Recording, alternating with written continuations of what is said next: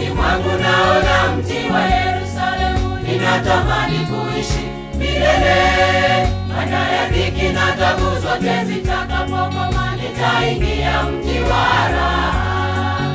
Moyoni mwangu naona mji wa Yerusalemu, ninatamani kuishi milele. Baada ya dhiki na tabu zote zitakapokoma, nitaingia mji wa raha. Yerusalemu Yerusalemu, makao yake ni ya raha. Waingiao jijini kule ni wale. Kwa majina naitwa Peter Karanja, mchungaji wa kanisa la Satellite Pefa Church ambalo linapatikana magharibi mwa Nairobi, na tuko hapa kama kanisa kuweza kubariki ulimwengu kwa nyimbo za Injili, na kanda yetu ya kwanza inaitwa Thawabu.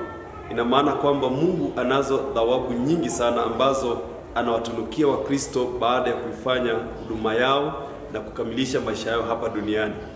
Kwa hivyo nyimbo ambazo ziko hapa bila shaka zitakubariki na zitakuongeza dhamani katika wokovu wako, maana Mungu ana kusudi la kunena na ulimwengu hata kupitia kwa nyimbo hizi.